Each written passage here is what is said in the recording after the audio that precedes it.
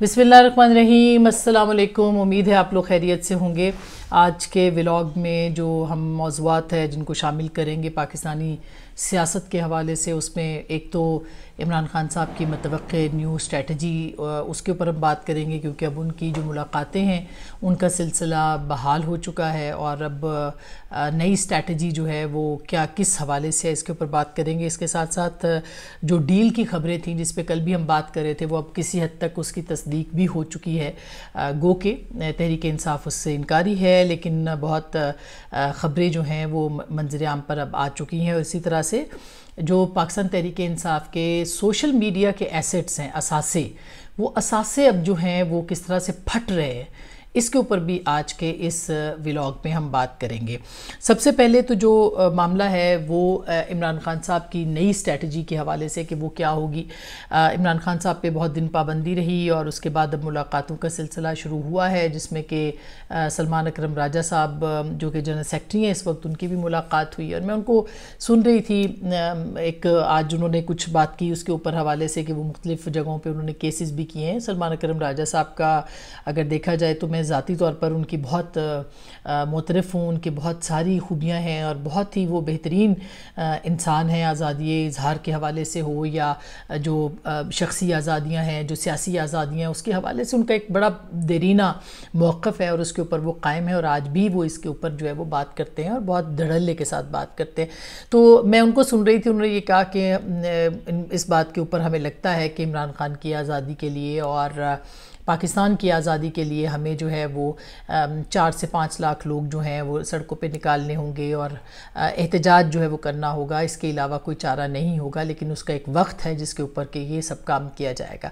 तो इमरान खान साहब की नई स्ट्रेटजी मुझे यही लगती है। नई नई पुरानी भी स्ट्रेटजी उनकी यही थी। अगर आपको याद हो, एक बहुत पुरानी वीडियो इनकी अक्सर मंजर आम पर आ जाती है, जिसमें वो कहते हैं कि एक लाख आदमी सड़क पे आ जाए तो फ़ौज के जो हैं, वो फिर उन्होंने जुमला बोला कि फ़ौज का पेशाब निकल जाता है, इस तरह की उन्होंने बात की थी जर्नैलों की और इस तरह की। तो ये एक उनका पुरानी उनकी स्ट्रेटजी और अगर देखा जाए तो नौ मई को भी इसी स्ट्रेटजी के ऊपर जो है, वो अमल दरामद किया गया था और फिर उसमें वो पुरतशद एहतजाज जो है वो उसमें शामिल हुआ था और मुख्तलिफ़ जो पॉइंट्स हैं उनके ऊपर जो है वो हमला किया गया था, मसलन कोर कमांडर हाउस हो या मियाँ वाली बेस हो या फिर चकदरा के अंदर जो एफसी का ऑफ़िस है, किला है, उसके अंदर उस पर अटैक हो या पिशावर की, रेडियो पाकिस्तान की बिल्डिंग हो, यानी कि जो स्ट्रेटजिकली इंपॉर्टेंट एसेट्स हैं, उनको जो है वो निशाना बनाया गया था और मुनज़म ग्रुप्स के सूरत में जो है वो लोग गए थे। इसमें पाकिस्तान तरीके इंसाफ कहती है कि हमारे लोग नहीं थे, बहुत से लोग शामिल थे, लेकिन जो उससे पहले मीटिंग्स होती रही हैं, उसके अंदर ये सारी चीज़ें, और इमरान खान साहब के अपने खिताबात और उनकी अपनी जो जो वो एड्रेस करते थे, जो वो लोगों से बात करते थे, वो जो बार बार अपने पैगाम देते थे, उसके अंदर ये बात जो थी वो बहुत वाज लफ्ज़ों के अंदर जो है वो इसके ऊपर इंस्टिगेट भी करते थे और इसके ऊपर जो है वो बात भी करते थे। इसमें कोई दो राय नहीं, अगर आप उठा के देखें, ये तो अलमिया है कि इस कदर नाहल हुकूमत है और इस इस कदर नाहल कहना चाहिए कि पॉलिसी साज हैं।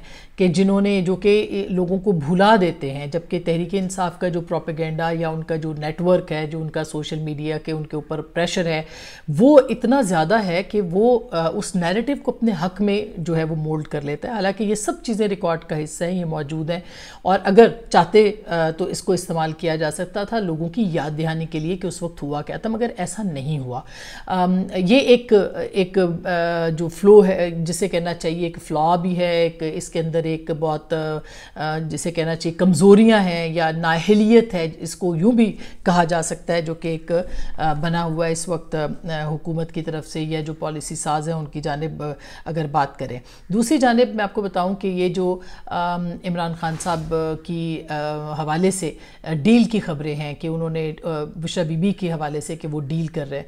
एक तो ये बिल्कुल वाज मैं आपको बता दूँ कि इमरान खान साहब प्रेशराइज कर, करेंगे, वो यही बात कहेंगे कि लोग बाहर निकलें, सड़कों पे आएँ और पुरतशद हंगामे हों या एहतजाज हों, क्योंकि वो इसके अलावा मफाहमत पे या बातचीत पे या डायलॉग पे जिस तरह से सियासी लोग करते हैं, वो इस पर यकीन ही नहीं रखते।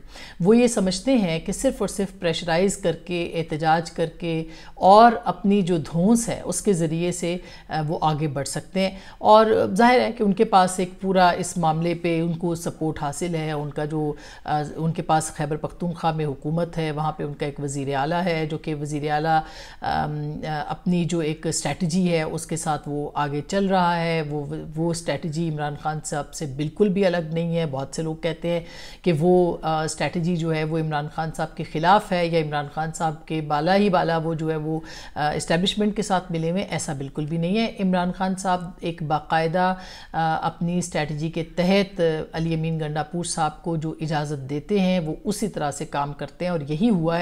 कि उन्होंने एक शख्स को, जिसका कि रबता इस्टेबलिशमेंट के साथ है, उसको रखा हुआ है। वो वज़ी अला भी है, वो इन्फ्लुएंसर भी है, उनके पास वसाइल भी हैं, उनके पास जो है वो तमाम तरीक़ाकार भी है। वो धमकी देने पे आए तो धमकी देते हैं। वो जब ऑफ़ द रिकॉर्ड मीटिंग्स होती हैं तो उनके अंदर उनका रवैया और होता है। तो ये एक बहुत सोचे समझे तरीके से जो है वो इमरान खान साहब इस पूरे मामले को डील करते हैं। ऐसा नहीं है कि अली अमीन गंडापुर साहब जो है, वो कर लें, जो कि इमरान खान साहब नहीं चाहते। ऐसा नहीं है। तो एक तो ये बात बहुत अहम है। इसीलिए जब ये डील और ढील की बात होती थी या डील, हम कह रहे हैं कि बुशरा बीबी की रिहाई जो है, वो किसी डील का नतीजा इसके अलावा कुछ नहीं है। तो आज अंसार अब्बासी साहब जो हैं बहुत मोतबर सहाफ़ी हैं। उन्होंने एक ख़बर दी है जो कि आज जंग अखबार की हेडलाइन भी है, बुशरा बीबी की रिहाई के बदले गंडापुर ने क्या पेशकश की है, उसकी, उसका हेडर है। उसकी जो खबर है, उसमें उन्होंने कहा है कि पीटीआई के ज़राए ने बताया कि गंडापुर को मालूम था कि बुशरा बीबी किसी और केस में उनको गिरफ़्तार नहीं किया जाएगा। हमने पहले दिन ये बात कही थी कि अगर ये डील ना होती तो बुशरा बीबी को फ़ौर नौ मई के बहुत से मुकदमात पहले भी थे, बाद में और भी बनाए जा सकते थे, इसी तरह से और नहीं तो 190 मिलियन पाउंड की अभी तक उसकी कार्रवाई मुकम्मल नहीं हुई है। उसके हवाले से भी उनको जो है वो या किसी भी और केस में गिरफ, ये तो होता ही रहा है, मुख्तलिफ़ लोगों के मामला के अंदर हमने देखा है कि उनको गिरफ़्तार किया जा सकता था और किया जा सकता होगा, लेकिन ये बाकायदा एक समझौते के तहत जो है वो उनको गिरफ़्तार नहीं किया गया। और अगर आपको याद हो तो फैसल वावडा साहब ने इस डील को बहुत पहले से बता दिया था और वो ये बार बार ये कहते, कह रहे थे कि बुशरा बीबी जो हैं, उनको एक मफाहमत के ज़रिए लिए निकाला गया, वो ये कहते थे कि बनिंगाला के घर के बाहर, घर के अंदर जिस तरह से रंगो रोगन पहले से शुरू किया गया था, इसका मतलब ये था कि उनको पता था कि वो रिहा हो रहे हैं। इसी तरह से उन्होंने ये भी बताया कि गन्नापुर साहब ने एक दिन पहले कैसे ऐलान कर दिया, फिर उन्होंने ये भी बताया कि उनका जेल के अंदर तक उनकी गाड़ी का आना और फिर सीधा उनका पहले कहीं और जाना, फिर वहाँ से पिशावर जाना, ये सब एक डील का नतीजा था जो कि गन्नापुर साहब जो है उसके ऊपर वो निशानदेही करते हैं। आपको याद हो कि कल ख्वाजा आसिफ साहब ने भी एक गुफ्तु की जो हमने अपने प्रोग्राम में भी चलाई और उस गुफ्तु में उन्होंने एक, ये बात कही कि हमें देखना होगा कि ये अंदर खाने जो है, ये क्या हो रहा है।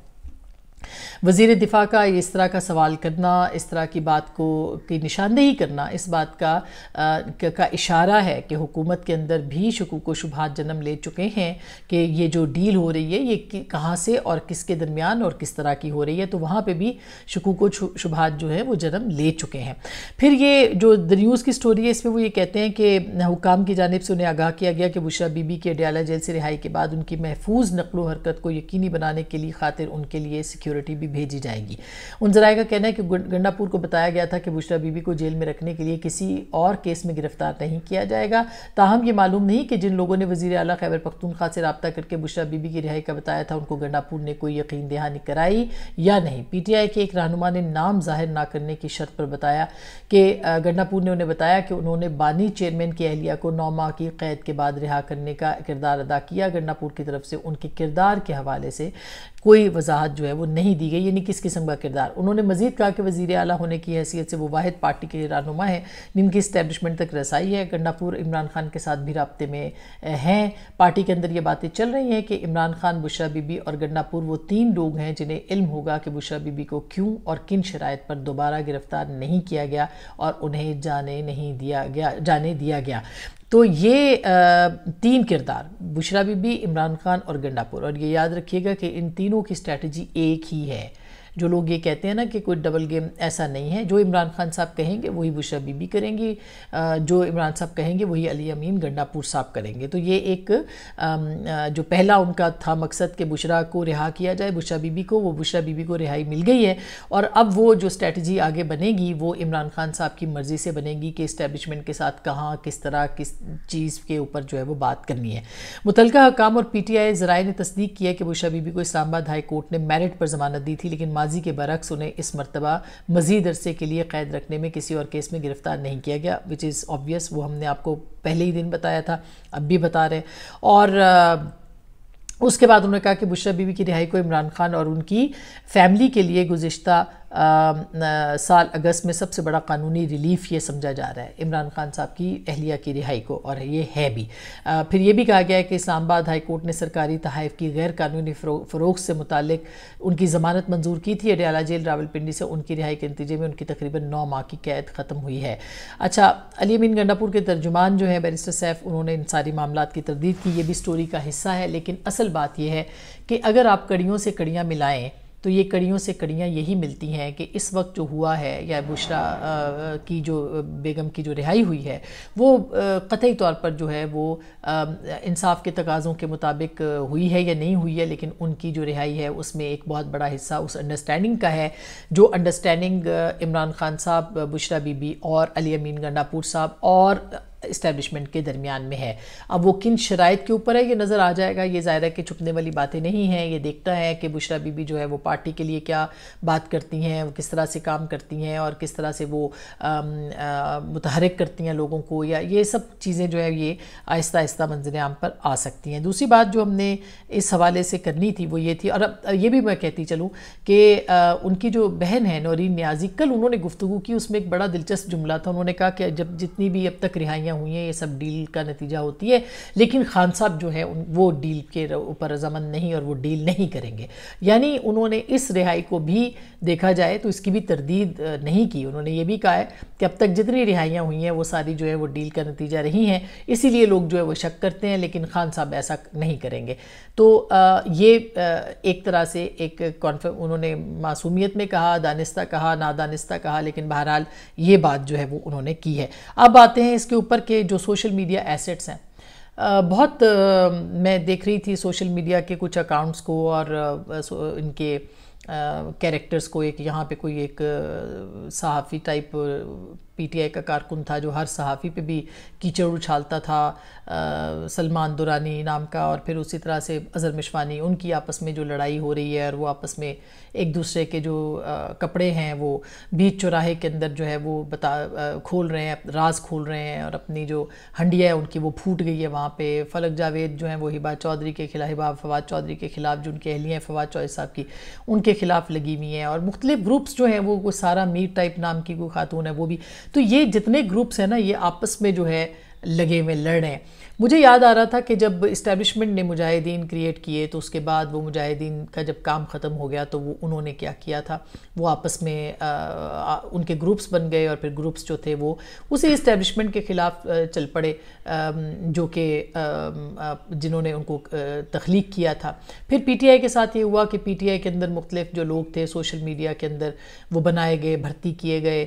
सबको पता है एक ओपन सीक्रेट है कि ये सब जो थे, वो किस जगह पे बनाए गए थे, इनको कहाँ तरबियत मिली थी, इनको इस्टेब्लिशमेंट के कौन कौन से किरदार थे जिन्होंने इनको तख्लीक किया था, बाहर से किस किस को लाया गया, किस तरह से ये पूरा सेटअप जो है वो बिछाया गया, और वो फिर इस्टेब्लिशमेंट के पीछे पड़ गए, और इस्टेब्लिशमेंट जो है अब वो भुगत रही है, जो उन्होंने बोया था, वो आज काट रही है। फिर इनका ख्याल था कि पीटीआई के अंदर जो है रहते हुए ये सारे लोग जो हैं, इनके साथ रहेंगे। ये सारी पैसे की गेम है। जब फंड्स कम हो जाते हैं, जब पैसे कम आने शुरू हो जाते हैं, जब ये कम एक दूसरे के, यानी मफादात टकराने शुरू हो जाते हैं तो फिर ये जो हंडिया है, ये बीच चौराहे में फूटती है। और ये हुआ है, आप देखें कि अब ये एक दूसरे के ख़िलाफ़ लड़े, लड़, एक दूसरे के राज खोल रहे हैं एक दूसरे के बारे में बात कर रहे। हैं आप फयाज चौहान साहब को देखें तो वो जो बात करते हुए दिखाई देते हैं, जो आप, वो बिल्कुल वो भी उसी एक पूरे एसेट का, उनका निज़ाम का हिस्सा थे।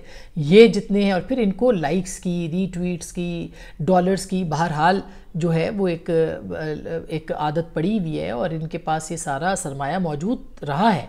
अब उसमें थोड़ी सी कमी मुझे लगता है कि आ रही है जो अंदरूनी तौर पर जो फंड्स की तरसील है मेरा ख्याल है कि उसके हवाले से आ, इनके यहाँ काफ़ी मुश्किल हो सकती हैं। डॉलर्स वॉलर्स तो शायद चलते रहेंगे मगर वो जो मामला हैं वो अपनी जगह पे हैं। तो अब ये आपस में दस्तो गिरेबान हैं। एक दूसरे के राज खोल रहे हैं एक दूसरे के ऊपर इल्ज़ाम लगा रहे हैं। ये याद रहे कि ये इनकी दस्तरस से कोई भी महफूज नहीं रहा। इन्होंने किसी की, हर किसी की किरदार कुशी की है। हर किसी की किरदार कुशी की है। इन्होंने किसी को भी नहीं बख्शा। किसी झूठे इल्ज़ाम बेसलेस बहतान, इनके छोटे दिमाग, लंबी ज़ुबानें, जहाँ जहाँ, जिस जिस तरह से इस्तेमाल हुई हैं, ये सारे एसेट्स जो थे, जो पहले इस्टेबलिशमेंट के थे, फिर पाकिस्तान तरीके इंसाफ के हुए, और अब पता नहीं ये किसके होंगे। ये याद रखिएगा कि जो बोया जाता है, वही काटा जाता है। जिस जिस तरह से इस पूरे सोशल मीडिया नेटवर्क को तहरीक इंसाफ की सपोर्ट के लिए बनाया गया और फिर वो उन्हीं के ख़िलाफ़ चला। मैंने जन बाजवा से ये सवाल जो एनडीयू में जब वो आए थे तो मैंने उनसे ये पूछा था। मैंने कहा, जन साहब, ये बताइए कि वो, क्योंकि वो कहानी, वो बता रहे थे कि हम पे ये इल्ज़ाम लगते हैं, ये करते हैं वो सारा तो उन्होंने, मैं उसकी तफसील में नहीं जाती। मगर मेरा सवाल उनसे ये था कि जो नाकामी होती है, वो बच्चे देती है और कामयाबी भांज होती है।